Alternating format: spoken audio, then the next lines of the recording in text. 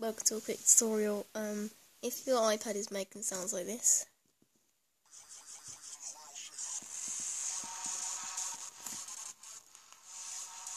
or things like this, like normally it's supposed to make a doing noise. Oh god. Oh my god. But it makes sounds like this.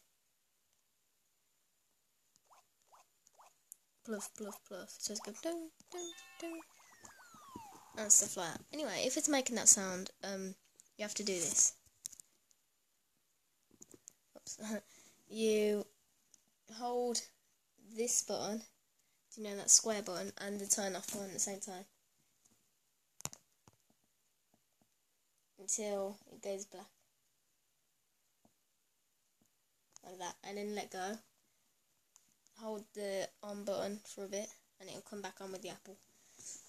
And this works with every iPad, it happens with most iPads. So leave a like and subscribe if this helped or if you liked it. And I'll see you guys in the next video. Bye. And it should turn on after in a while, so. And then you can test it out. So see ya.